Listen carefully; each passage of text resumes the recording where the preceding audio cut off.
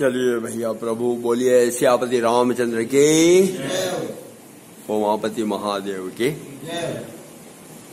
सदगुरुदेव भगवान की। जय। जय।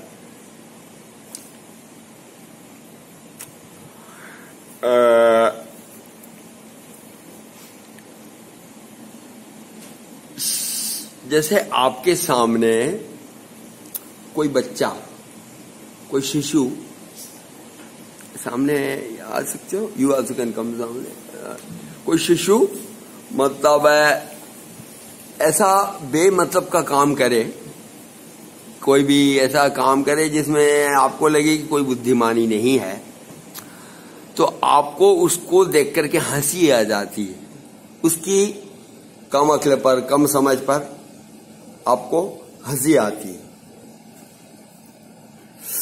जैसे कि जगत समाज में किसी व्यक्ति में अमूमन एक जनरल समाज मानता है किसी व्यक्ति में ए, समझ की कमी या समझ में उल्टापन या समझ में थोड़ा सा विक्षेप तो उस व्यक्ति को मतलब एक प्रकार से जनसाधारण पागल मानता है या पागल कहता है या पागल समझता है। और पागल कहता मानता ही नहीं उसको उसकी प्रतिक्रियाओं पे हँसते हैं या उसको हँसते हैं उनकी बात पर या इग्नोर करते हैं या अप, अपमानित करते हैं पागल मान करके। पर अब सर मेरे प्रश्न यही है उठता है कि फिर ये तो बताओ कि इस संसार में सही कौन है? इस संसार में मतलब सही कौन है और वो जो सही होता है वो कैसा होता है?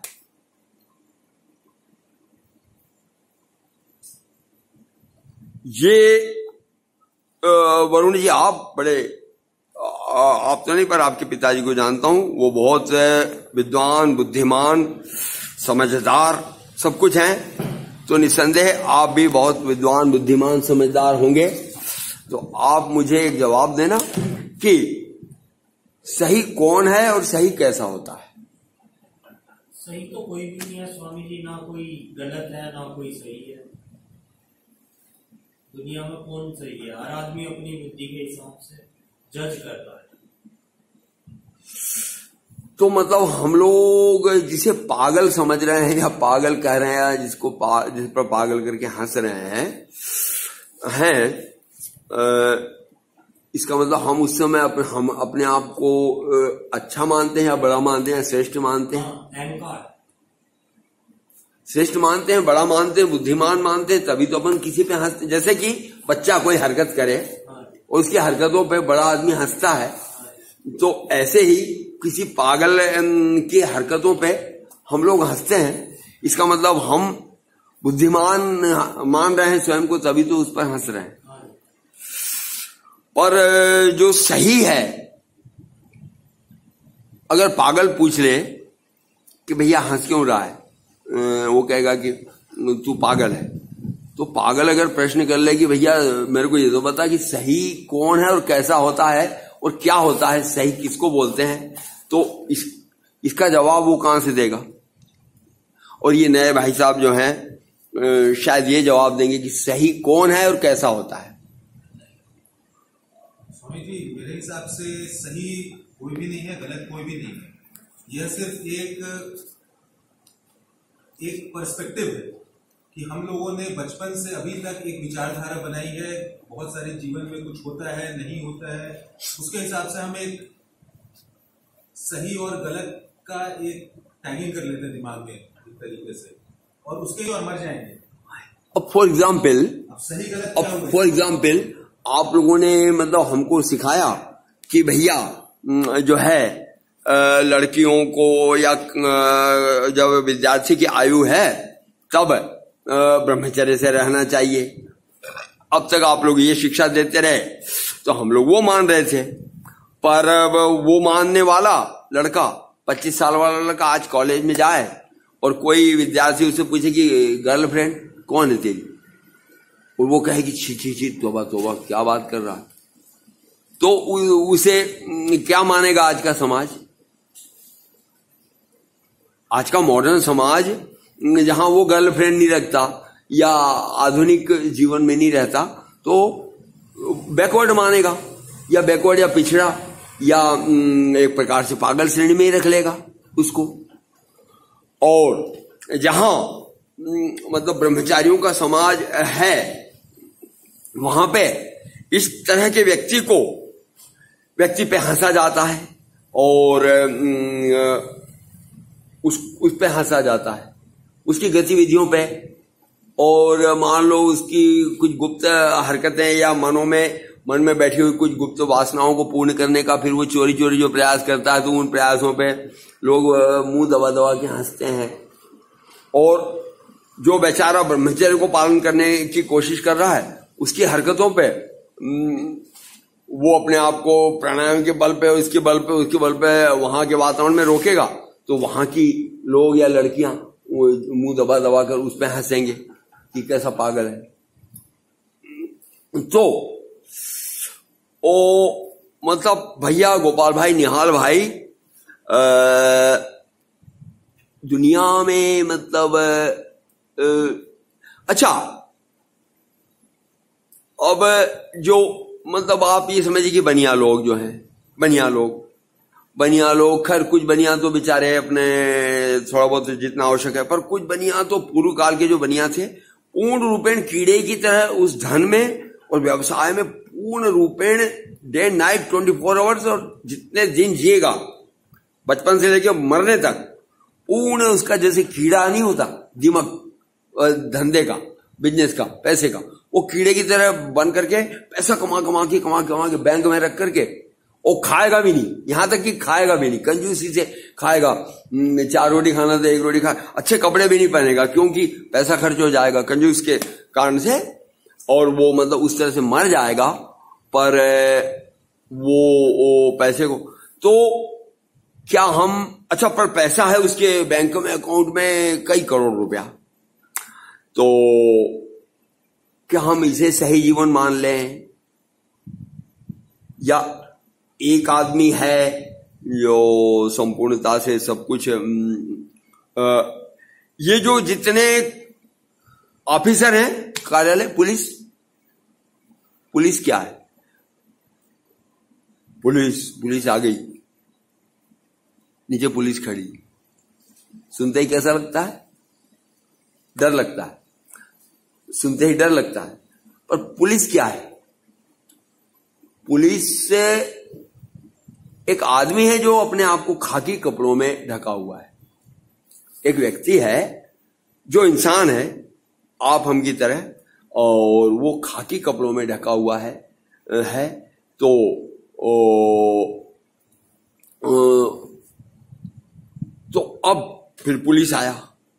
अब पुलिस के मतलब कारनामे कई जगह वो आप पर हावी होने की कोशिश करेगा। फिर आपने कहीं किसी एसएसपी का या एसपी का ये निकाल लिया तो फिर वो एकदम ही आप में गिर जाएगा। तो आपके लिए हास्यास्पद बन जाएगा। तो व्यक्ति ऑफिसर बन जाता है। मैं ऑफिसर हूँ। अब कई व्यक्ति तो शरीर से ऑफिसर जैसे दिखते भी नहीं। होते हैं पतले मरे कुड़े, लेकिन चूँकि वो बन गया ऑफिसर, चौड़ा तो उसे दिखना है। चौड़ा है नहीं। तो अहंकार को वो चौड़ा करके दिखाता है। लेकिन वास्तव में मतलब ये है कि तो वो एक प्रकार का नॉर्मल व्यक्ति के दृष्टिकोण में देखा जाए तो वो एक प्रकार का पागलपन है नहीं तो और क्या है?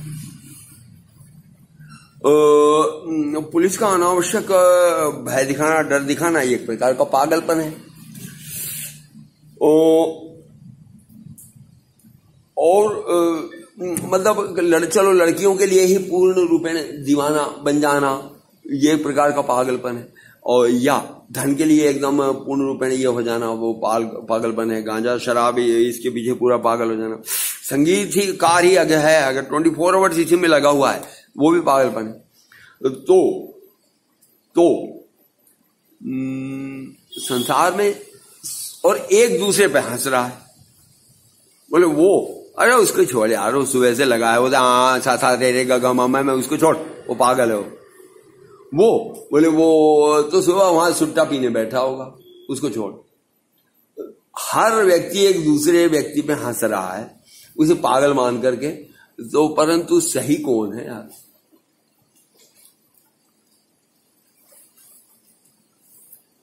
आ, सही सही कौन है? हाँ सही जो जो भगवान के शरण में जो भगवान का पूजा पाठ करता है आई थिंक वो कुछ हद तक सही हो सकता है।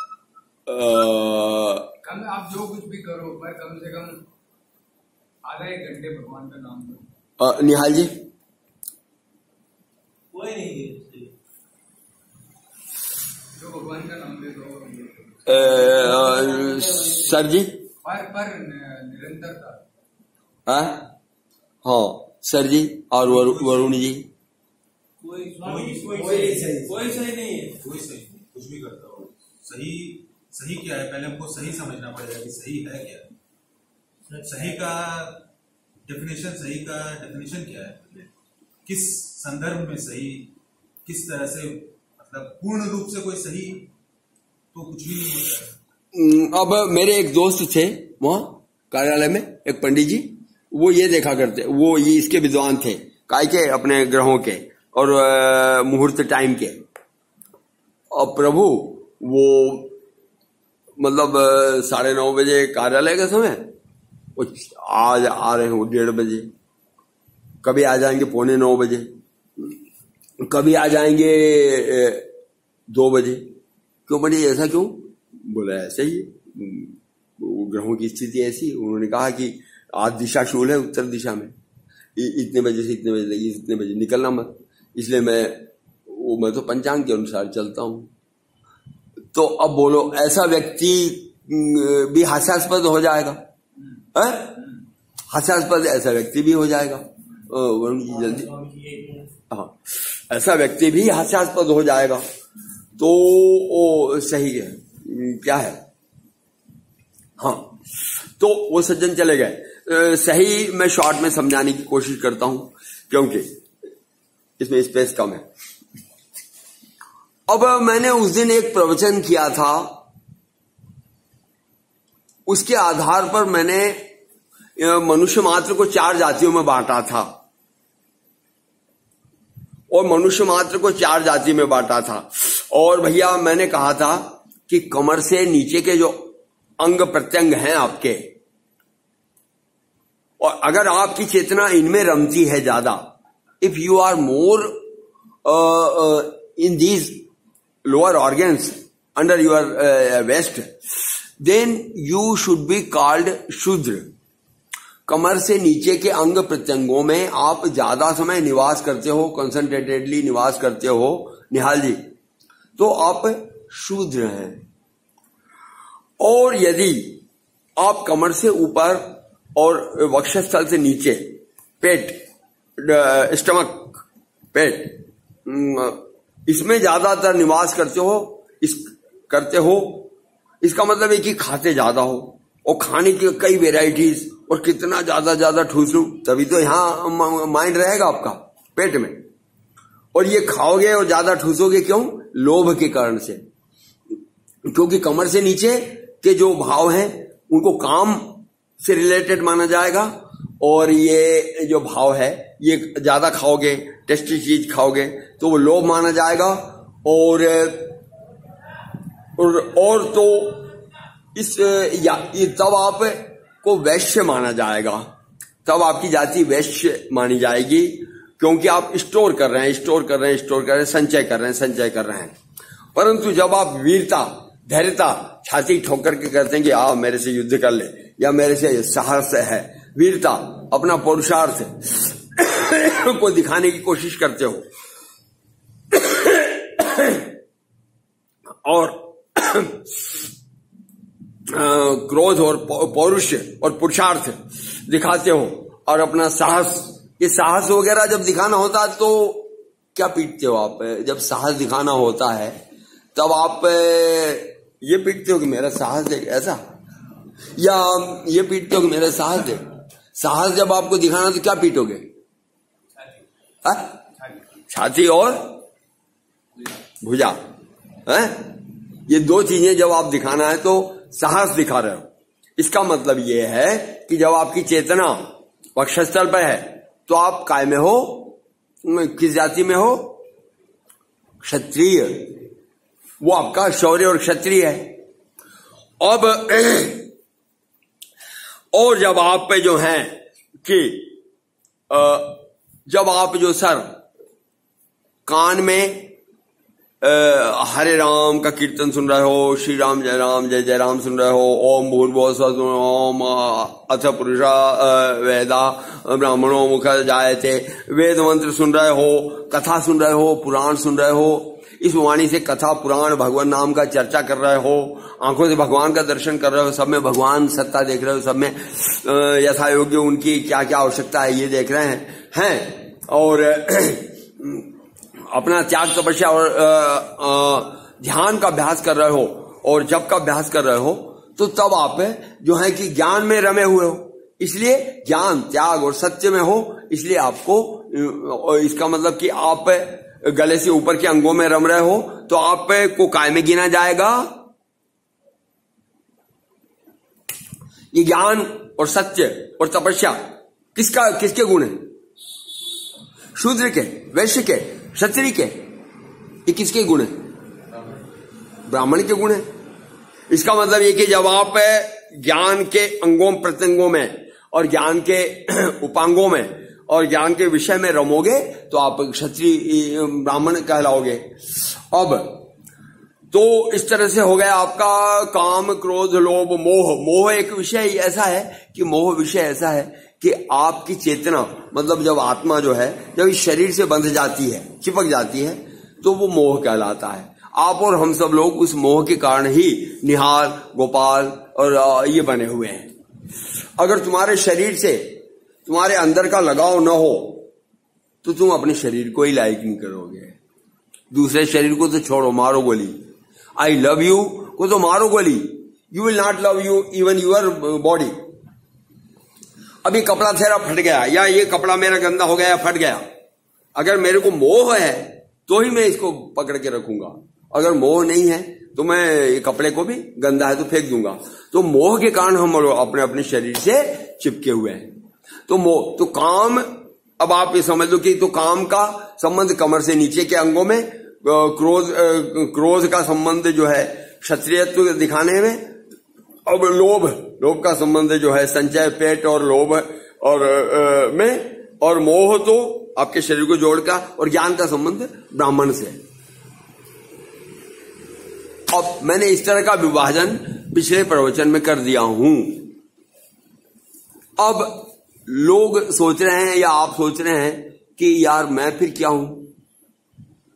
मैं तो मतलब एक ही तो अब आगे की बात पर आइए मेरे भाई। आगे की बात यह है कि अब सर हैं, आप हैं, या आप हैं, या आप हैं। पैसे पैसे की आवश्यकता तो सबको है।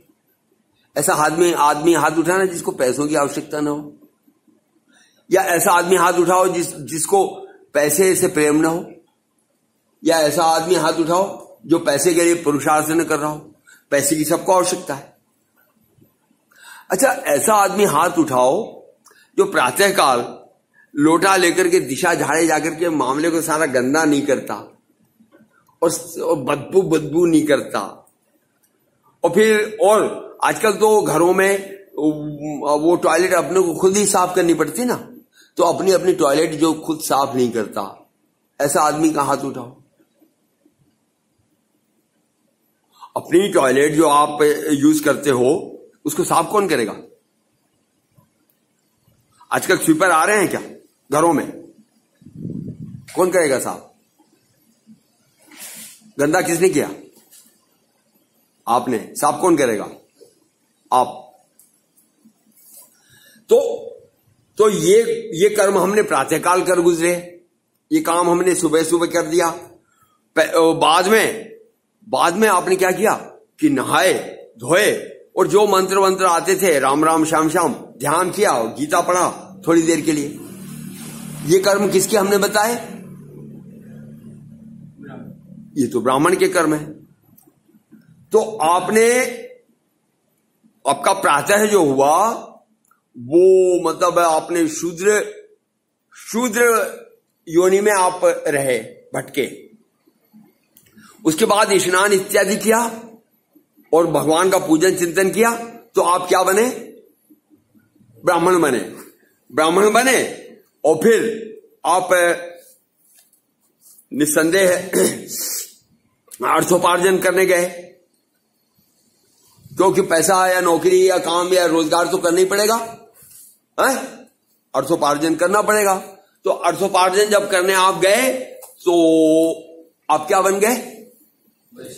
वैश्य बन गए। और वहाँ पर ऑफिसर ने या किसी ने ज़्यादा ही अनावश्यक अन्यायपूर्वक आप पे दादागिरी कर रहे हैं या अन्यायपूर्वक आपसे बात कर रहे हैं और आपको साहस दिखाना पड़ा। हाँ कि देख लेंगे सर आपको भी या रिजाइन कर देंगे या देख लेंगे या अन्यायपूर्वक ऐसा व्यवहार क्यों? जब आप सत्य में या साहस में हाँ वो रिश्वत मैंने नहीं ली जब आप सत्य के सहारे पे टिक जाते हो तो वो क्या हो गया? क्षत्रियत्व हो गया। तो कहने का मतलब ये है मेरे भाई कि आप तो और क्षत्रियत्व को मैंने क्या गुण, गुण कौन से गुण से जोड़ा? क्रोध से। इसको वैश्य को कौन से गुण से जोड़ा? लोभ से, शूद्र को कौन से गुण से जोड़ा? काम से। और पूरे शरीर को का जो संलग्नता है, चिपकनापन है, इसको काय से जोड़ा? मोह से। और ज्ञान को काय से जोड़ा? ब्राह्मण से। तो अब प्रश्न ये है कि आपकी दैनिक की दिनचर्या में आपको ये चारों जातियों का संतुलन लेकर के आपका दिन बीतता है, हर व्यक्ति का। तो उन जातियों के आधार पर कोई ये न समझ ले कि भैया हम तो शूद्र हैं यार, और हम तो वो ब्राह्मण तो बड़े ऊँचे हैं, और ब्राह्मण ये ना समझ ले कि हम तो ब्राह्मण हैं और शूद्र तो नीचे होते हैं। ये चारों जातियों का क्रम तो आपके ऊपर चल रहा है भैया। चल रहा है।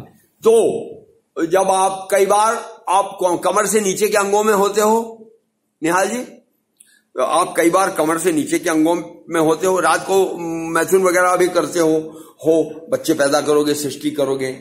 तो और और प्रातः काल के जो शौच आदि कर्म है, वो सब कमर से नीचे के हैं। तो आप शूद्र योनि में रहोगे, फिर आप, अर्थोपार्जन इत्यादि करने के लिए संचय भी बैंक में भी रुपया डालोगे, तब आप वैश्य योनि में हो कई बार आपको सत्य का ये परिचय देना पड़ता है और अपने पुरुषार्थ का परिचय देना पड़ता है। तो आप क्षत्रियत्व में हो और सुबह उठ करके स्नान इत्यादि करते हो और माला जब करते हो, ध्यान करते हो, इसका मतलब आप ब्राह्मणत्व में हो, दान भी करते हो तो आप ब्राह्मणत्व में हो। तो कहने का मतलब यह है कि आप में जैसे ये चारों गुणों को और चारों जातियों को और चारों वर्णों को जैसे आप एक संतुलित वे में संपादन करते हैं।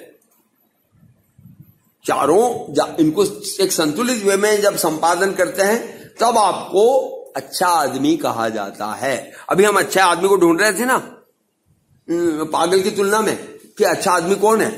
पागल की तुलना में।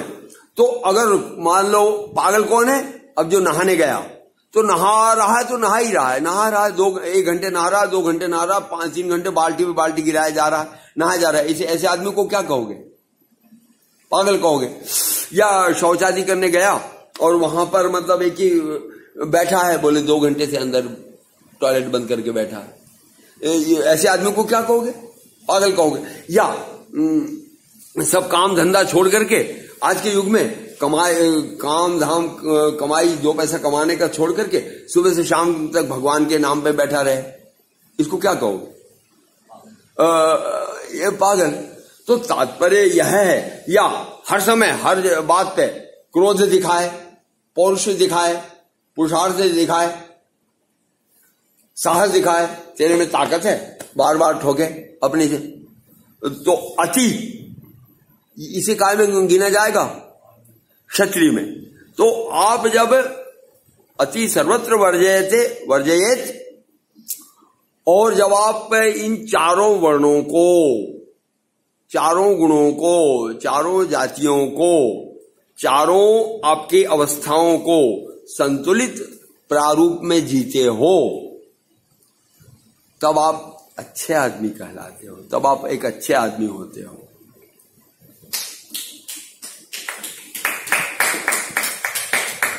तभी आप एक अच्छे आदमी होते हो और इन संतुलन में कहीं ज़्यादा आपने व्यतिक्रम किया, किसी भी क्षेत्र में ज़्यादा समय, एक दिन दिया, दो दिन दिया, आठ दिन दिया, कि आपकी श्रेणी बदल जाएगी, आप पागल में गिरने लग जाओगे। आपने पैसे के प्रति ही सुबह से शाम तक कीड़ों की तरह अगर लगे रहे कमाने में तो आप पागल गिने जाओगे।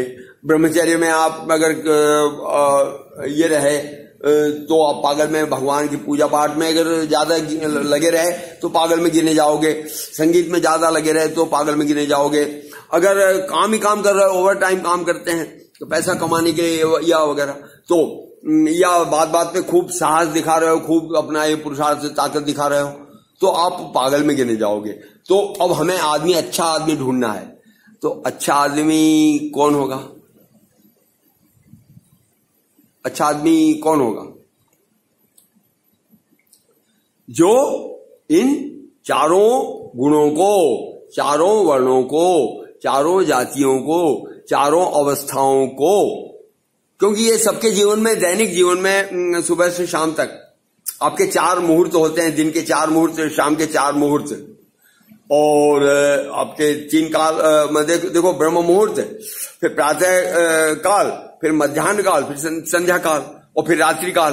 तो रात्रि काल में आपको तमोगुण की आवश्यकता होती है। तब तो आपको नींद आती रात्रि काल में तमोगुण की आवश्यकता है। और ब्रह्म मुहूर्त में आपका जो गुण चलता है, वो सत्व गुण होता है।